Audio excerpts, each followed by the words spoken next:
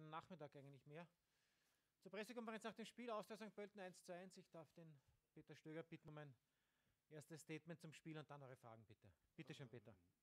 Ja, also wir waren äh, mit der ersten Halbzeit überhaupt nicht zufrieden. Äh, es war viel zu wenig. Äh, wenig von dem, wo wir gesagt haben, was wir, was wir sehen wollen, nämlich dass wir selbst aktiv sind. Ähm, und äh, wir haben, äh, wir haben darauf darauf reagiert, haben in der Pause seine oder andere äh, versucht, nochmal zu erklären, was wir wollen, haben äh, personell auch äh, äh Veränderungen vorgenommen. In zweiter Halbzeit finde ich war die Reaktion okay. Das ist das, was wir zumindest sehen wollen, dass die Mannschaft Richtung die Annahme von schwierigen Situationen in allen Bereichen versucht hat, was umzusetzen. Wir haben viel mehr äh, Flankenläufe gehabt, wir haben mehr Situationen, mehr, mehr Strafraumsituationen gehabt. Wir haben dann auch zweite Halbzeit mal gesehen, ob, ob die Verteidigung äh, der St. Pöltener überhaupt äh, äh, gut drauf ist oder nicht, weil das war ja Halbzeit nicht zu erkennen. Ähm, mit der Reaktion bin ich zufrieden, weil ich weiß, dass äh, das jetzt natürlich auch eine schwere Phase ist für die Jungs. Äh, wir sind, wir sind in der Kritik, wir sind eins nur hinten. Und dann was draufzulegen, was besser zu machen, ist auch nicht so einfach mit der Reaktion bin ich zufrieden. Dass wir das Tor geschossen haben, kann man darüber diskutieren, äh, ob das Unentschieden gerecht ist. Ich glaube, wir haben auch Möglichkeiten gehabt, äh, die St. Pölten Möglichkeiten gehabt, dass das vielleicht äh, das zweite dann auch machen. Ähm, aber ich glaube, es war nicht ganz unverdient und ich äh, bin jetzt mit dem Punkt nicht zufrieden, aber bin zumindest äh, einverstanden mit dem, wie wir zweite Hälfte reagiert haben. Dankeschön, Peter. Für Fragen bitte die Hand heben. Michi kommt mit dem Mikro. Alex Strecher, Kurier beginnt. Peter, hast du eine Erklärung, warum das überhaupt nicht funktioniert hat in der ersten Halbzeit? War das, war das irgendwie im, im, von der Einstellung her bei manchen? Ich, ich weiß es nicht, ob, also, wir, also ich kenne die Jungs jetzt äh, schon ein paar Monate. Ich würde würd das ausschließen, dass es, äh, dass es an, an, an, der Einstellung liegt. Dazu kenne ich sie zu gut, aber es ist halt äh, diese Mechanismen und das, was wir machen wollten, manchmal ist es halt schwierig.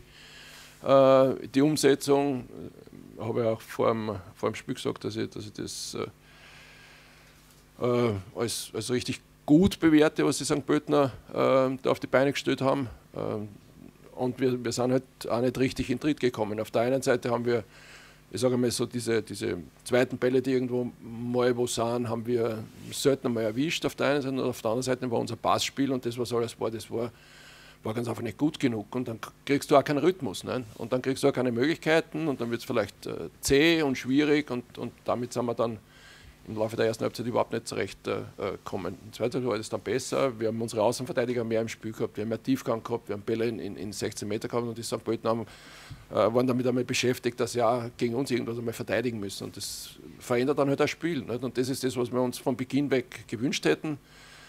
Ähm, das war wenigstens die Reaktion da. Also wie gesagt, erste Halbzeit, das war in, in allen Bereichen zu, zu inaktiv halt. Das war, ähm, das war jetzt ein, in, so im letzten Zentrum bei uns in der Innenverteidigung war es ja soweit noch okay, aber alles, was rundherum war, war waren, waren so halbe Sachen.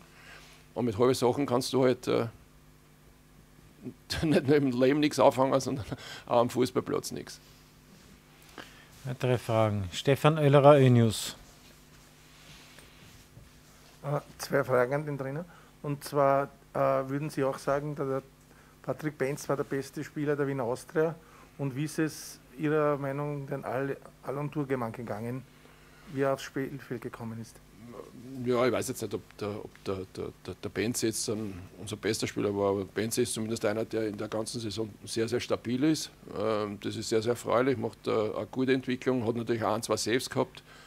Ähm, die hat der Kollege auf der Wiese Seite auch gehabt. Ähm, also ich glaube, er hat es in Ordnung gemacht. Ich finde, äh, dass, äh, dass, wie gesagt, unser Spiel erste und zweite Halbzeit total unterschiedlich war, aber ich habe unsere Innenverteidigung zum Beispiel richtig äh, okay gesehen. Also ich finde, die haben das sehr gut gemacht. Ich habe Handel sehr, sehr stark gesehen.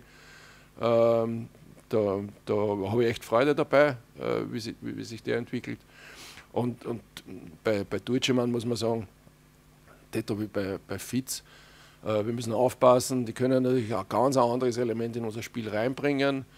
Äh, beide zusammen, ich habe es jetzt nicht nachgerechnet, aber werden wahrscheinlich fast ein, ein, Jahr lang nicht Fußball gespielt haben auf dem Niveau. Das heißt, wir müssen die langsam heranführen. Ähm, aber Deutsche ist halt jemand, der Bälle sichern kann, ist jemand, der, der sage mal, Situationen erkennt, äh, mal etwas auch, wo er Gegner was hergibt, dass der dann da ist. Wenn man so will, ist eigentlich der klassische Strafraumstürmer. Äh, der tut uns auch gut, aber wir müssen wirklich aufpassen, weil vor allem ein Deutsche ist ja gefühlt von einer Verletzung in die andere gelaufen mit ein paar Spielen dazwischen und das wollen wir ihm halt auch nicht antun, deswegen sind wir in der Diskussion. Aber ich finde, er ist, er ist, er ist soweit gut reingekommen. Ja. Weitere Fragen? Thomas Schrenk von der APA. Die Überlegung mit, mit Stefan Zwierschitz im, im Zentrum, ähm, was, was war da die Überlegung dahinter? Oder, was, oder ist das Zentrum, ist das so ein bisschen so eine kleine Baustelle, wo man noch was sucht oder was ausprobiert?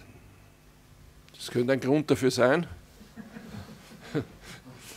äh, nein, also, also es, es, so, so, dieser letzte, muss man auch sagen, wenn ich, wenn ich so bewerte, dieser letzte Defensivverbund, wenn ich sage, die Innenverteidiger äh, und die Jungs, die davor spielen, die, die machen das die ganze Saison eigentlich nicht so richtig schlecht, aber wir sind halt auch daran interessiert, dass wir noch ein bisschen mehr rausholen aus dem Bereich. Der, der, der Zwierschitz ist ein Spieler, den ich persönlich sehr schätze, weil er flexibel einsetzbar ist. Er ist ein intelligenter Fußballspieler, der ist taktisch geschult, der weiß, was zu tun ist. Und ich finde, er hat das auch in Ordnung gemacht. Also er hat äh, Phasen gehabt in dem Spiel, äh, wo er sich auch mit eingeschalten hat, was wir gehofft haben, was wir nicht unbedingt von ihm verlangt haben.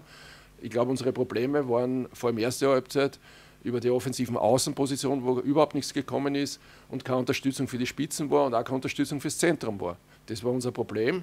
Äh, und, ähm, und wir haben den, den, den Zwiedern auch nicht rausgenommen, weil wir nicht zufrieden waren mit ihm, sondern weil wir gesagt haben, okay, eine schwierige Phase, der Vize trotzdem, er ist fit, wir wollen ihm jetzt dann, nachdem er äh, bei den Young Violets gespielt hat, wir wollen ihm wieder Spielpraxis geben, weil es für ihn wichtig ist, dass er so einen Rhythmus kriegt und äh, nicht, weil wir mit, mit, mit Zwirsch jetzt unzufrieden waren, weil in der Phase hat das Spiel eigentlich ganz gut funktioniert. Ganz gut, relativ. Einigermaßen gut. Gut, weitere Fragen oder alles beantwortet? Ich sehe keine Handzeichen. Oh, doch. Thomas ja, Schrenk von der APA. Nachfrage, Oder bitte. Ich, ich habe Zeit. Um, okay. Um, jetzt ist das das Cup-Spiel, danach kommen die, die drei Reste bis zur 11. Runde, also geht es gegen Rapid, äh, Sturm und beim WRC. Mhm. Ähm, es werden ja vielleicht etwas andere Spiele, werden es jetzt die, die letzten gegen Altach und St. Pölten, aber wie, wie blickt man denen jetzt voraus?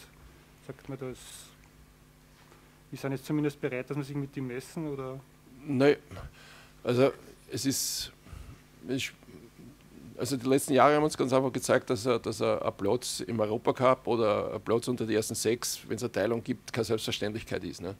Es ist halt so. Ich wüsste jetzt auch nicht, warum sich auf Knopfdruck da was verändern sollte äh, in der Sekunde, dass das, dass das alles so läuft. Wir müssen es uns erarbeiten. Wir haben eine Konstellation, wo äh, eh relativ viele arrivierte Spieler zum Einsatz kommen. Wir haben hinten auch sehr, sehr viele junge äh, wo wir hoffen, dass die richtig anschieben. Deswegen freut mich auch zum Beispiel der Auftritt vom Jukic dann, super, tut uns allen gut. Das sind so, so Signale, wo du sagst, okay, du hast noch eine Option und das entwickelt sich.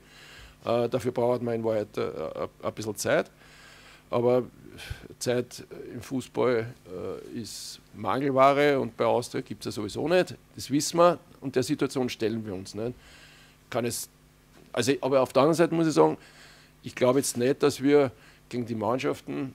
Wir werden dann vor Weihnachten dann einmal, dann einmal ein Resümee ziehen, wahrscheinlich in einer PK, aber ich glaube jetzt auch nicht, dass wir jetzt dann so wahnsinnig viel schlechtere Chancen gegen Sturm, WRC oder Rapid haben, als wir es möglicherweise gegen Altach oder St. Pölten haben. Unsere Spiele, die waren alle durch die Bank relativ ausgeglichen, würde ich jetzt einmal sagen. Manche davor haben wir gewonnen, das nicht unbedingt gewinnen ist müssen.